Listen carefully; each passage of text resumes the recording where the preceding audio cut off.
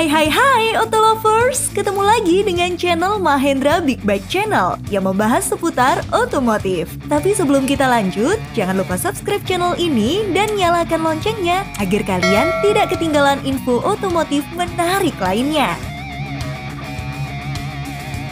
Resmi diperkenalkan di Indonesia nih brosis. Jagoan skutik EV terbaru siap mengaspal nih.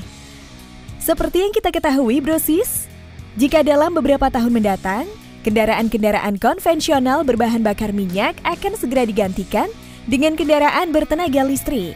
Jadi nggak heran rasanya jika belakangan ini kendaraan di segmen EV mulai ramai bermunculan.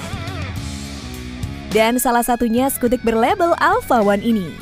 Di segmen desain dari skutik ini hadir dengan desain ala skutik Maxi Brosis. Di mana pada skutik ini memiliki dimensi yang cukup bongsor dan dek bawah selonjoran dengan sekat. Lalu untuk desain headlamp pada skutik ini, menggunakan desain single headlamp yang cukup lebar dengan pencahayaan proyektor LED dan DRL modelis yang terlihat futuristik. Sedangkan di bagian kokpit pengendara terlihat menggunakan stang model naked dan juga panel instrumen full TFT digital yang terlihat futuristik.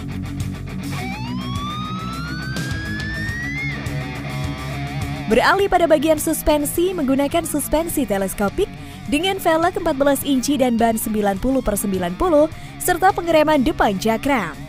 Dan di bagian belakang menggunakan suspensi single shock dengan model single swing arm dan velg 14 inci dan ban 100 per 90 serta pengereman belakang cakram.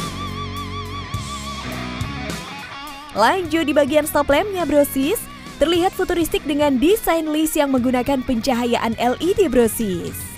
Hadir di segmen skutik EV pada Alpha One ini, Dibekali baterai lithium 60 volt, motor ini memiliki daya maksimum sebesar 4,8 kW dengan torsi maksimum 46 Nm.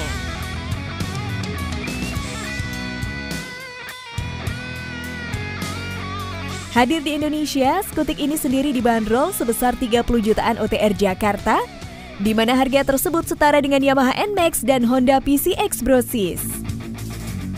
Tapi bedanya pada skutik berlabel Alpha One dari pabrikan IMG ini hadir sebagai skutik elektrik yang serupa dengan Honda PCX EV.